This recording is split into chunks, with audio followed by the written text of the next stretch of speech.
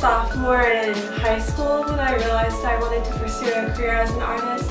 That's when I began um, looking at colleges and I began looking at art schools and seeing which colleges had the best um, ranking for the art department. My creative process is um, I usually do a sketch before I put anything on canvas. Um, but really the main question I ask myself before I start a new piece is like has this been done before and how can I make this piece um, different from anything else anybody else has seen and true to who I am as an artist.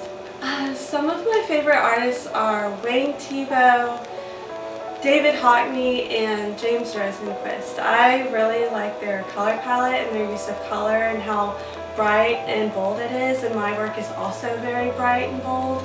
And so that's really what I like most about their work. I want viewers to feel like they are part of the experience when they see my work and more importantly I want them to be engaged with my work and be um, curious about it and interested and relatable. My name is Sarah Palmer and I hope you enjoy this body of work in the Japanese fashion show.